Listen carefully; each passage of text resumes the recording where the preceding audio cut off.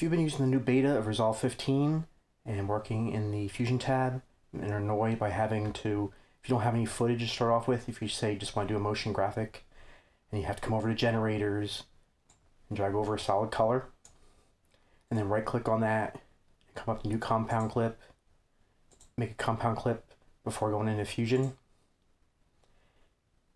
I figured out a way to do away with those steps.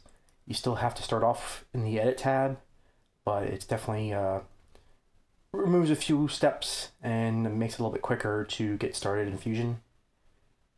So we'll come back to edit, delete that. Now I'll give a preview here of what I created. So if you go into the titles and scroll down to Fusion titles, I created a title here called transparent background. So if you drag that out, and that's it, you're set. You come into Fusion, it's basically a background that's transparent, and then you could do all your motion graphics or any other work you want to do right now. You didn't have to create a compound clip. I come in here, click on this first node, add some text.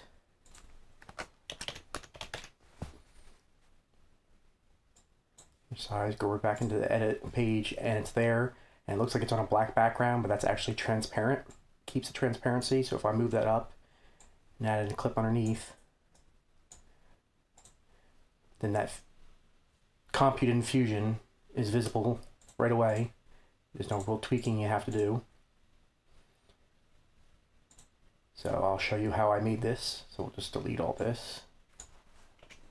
So we want to start back to create this for you on your, on your own. Come back to generators and pick a solid color. Drag it over. Now you want to make sure that your project settings are set to uh, the frame rate you're normally using. So right now I normally use 30 frames per second. So if I come up into uh, project settings, see right now this is set to 2424. So if you're going to be doing 30 frames per second, you want to make sure that that's set to begin with. So I'm going to delete that and I'm going to restart Resolve.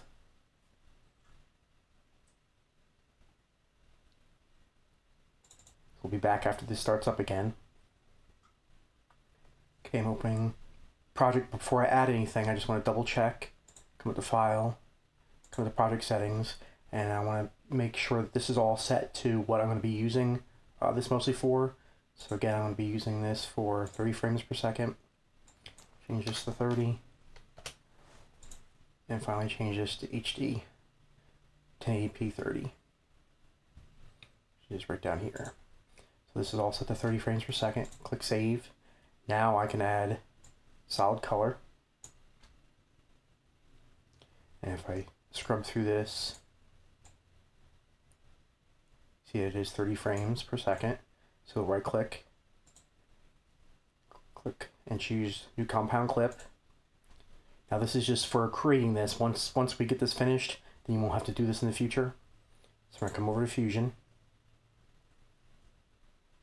Then we're going to disconnect Media 1 and just delete it. So now we're going to want to create two backgrounds merged.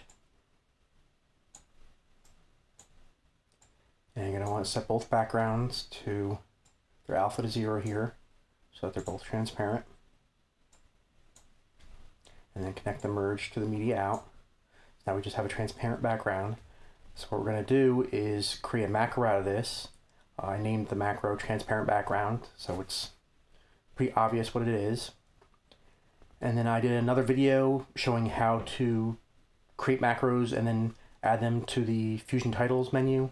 So I'm not going to go into great detail here. I'm just going to quickly kind of go through it. And if you want to see a little slower, more in detail, just I'll link to the other video. But you basically want to select these three nodes, right click, come up to macro, click create macro, and then name it what you want to name it. So I'm going to name this one transparent background 2 because I already have one.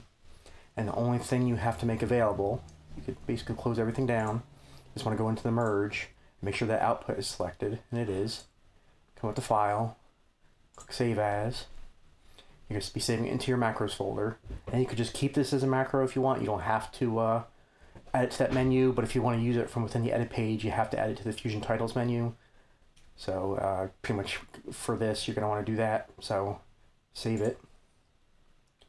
And then you could close. And now it's saved to your macros folder. So you want to close out of Resolve. Don't need to save that project. And then I'll link to the path for the these folders. But again, I, I'll go over more detail in the other video. Okay, so it's going to be under your user, app data roaming, Blackmagic design, DaVinci Resolve, and Fusion. And your macros are stored under the macros folder here. So you double click on that. And this is where it saved it to. So this is the new one I just made. So just right click and copy that. And then you're going to go back to, you come over here instead of Fusion, you're going to go to DaVinci Resolve, Fusion, you want to go to templates, edit, and then titles. And this is your personal folder for adding new uh, Fusion titles.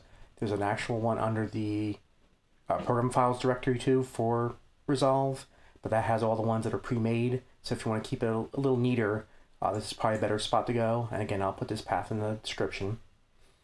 But then you just have to right click, click paste. So now I added another macro to here and then just minimize that then go back into resolve. And you can open up a new project. And then right from the start if you come down to titles and scroll down you'll see the new one I just created transparent background 2 so instead of having to go into generators picking a um, solid color dragging that on and then having to right click on it compound clip and then go into Fusion in just one step. You just drag, go down here, drag that over, and it's ready to go in Fusion. It's already transparent, so then you could just, you don't have to worry about uh, having any background color to start with or any footage. You could just start right from here. If you want to have a background, then you could add a background now. So then you have a background merged. Uh, if you want to add text, come to this merge, add text. They're in a separate merge here.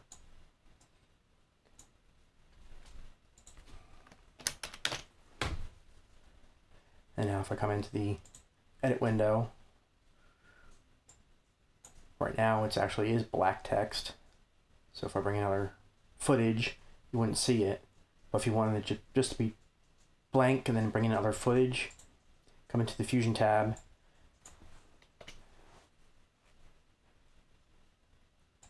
get rid of that and get rid of this. And if you wanted to add text, just come in here, click text.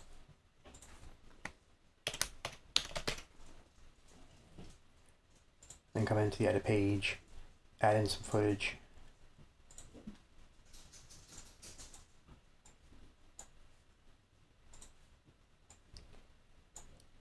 And then the background is transparent so you can see whatever you created in your motion graphics you did in Fusion. So it's not it's not quite as easy as with the standalone version of Fusion, but instead of having a, it does save you a few steps, and you just add a transparent background and get right, right started in Fusion and you don't have to do those other steps. So hopefully this helped you out, and I thank you for watching.